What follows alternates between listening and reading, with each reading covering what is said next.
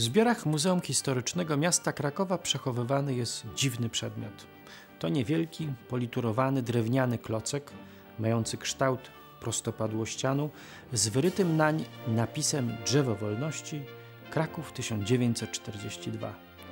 Ten kawałek drewna nie ma żadnej wartości materialnej, ale jak to często bywa w przypadku muzealiów, posiada ogromną, trudną do przecenienia i wycenienia wartość emocjonalną. Aby ją zrozumieć, trzeba spojrzeć na inny obieg z naszych zbiorów.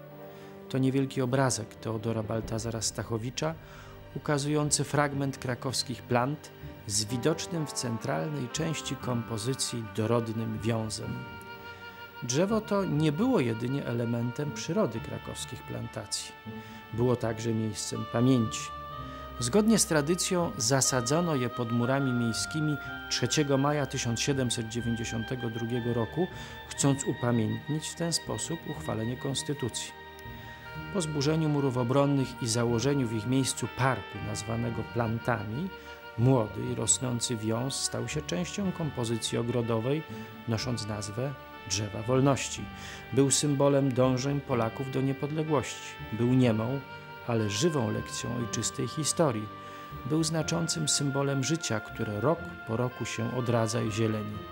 Wiąz przetrwał do 1942 roku, kiedy został ścięty przez okupanta niemieckiego, który po zajęciu Krakowa niszczył wszelkie ślady pamięci narodowej.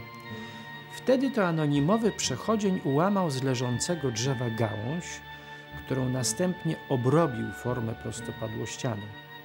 Drzewo wolności zamieniło się w jego ułamek, ale symbol pozostał, a nawet nabrał większej mocy.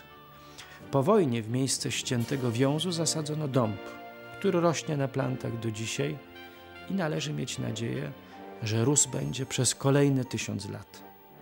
Klocek z wiązowego drzewa trafił natomiast do muzeum i jest pamiątką, która w zadziwiający sposób pokazuje, jak w tak niewielkiej formie można zamknąć tak wielki ładunek uczuć i znaczeń.